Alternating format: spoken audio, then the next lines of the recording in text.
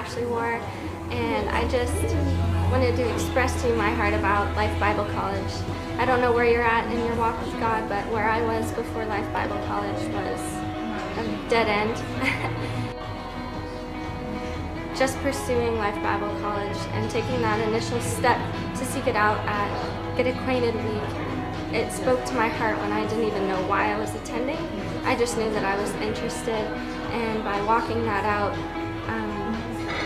God called me to go to Life Bible College. And since then, my life has not been the same. I didn't go intending to go to second year, but I couldn't even imagine my life with not going to second year. So um, just be prepared to be changed and transformed and to go deeper with the Lord and to find who you really are. And I'm so excited for you. We'll see you there.